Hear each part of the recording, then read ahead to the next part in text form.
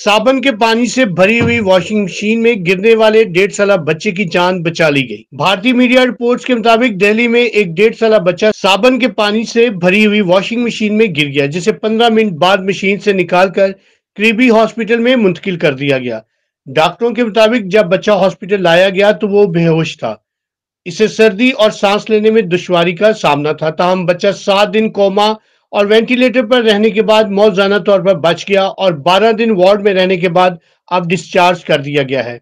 डॉक्टरों के मुताबिक बच्चे को इंतहाई खराब हालत में लाया गया था। साबन के पानी की वजह से उसके मुख्तलिफ़ जिसमानी अजा के अफाल मुतासर हुए और इलेक्ट्रोलाइट में अदम तोजन पैदा हो गया था। ताहम इसे ज़रूरी एंटीबायोटिक्स और आईवी फ्लोटेड सपोर्ट दी गई। इसके बाद सेहत याब होना वो शुरू हो गया। मीडिया रिपोर्ट्स के मुताबिक माँ का कहना है कि टॉप लोडिंग वॉशिंग मशीन का ढक्कन खुला रह जाने की बायस बच्चा अंदर गिर गया था। वो इस वक्त कमरे से बाहर थी जब बच्चा कुर्सी पर चढ़कर मशीन में जा गिरा।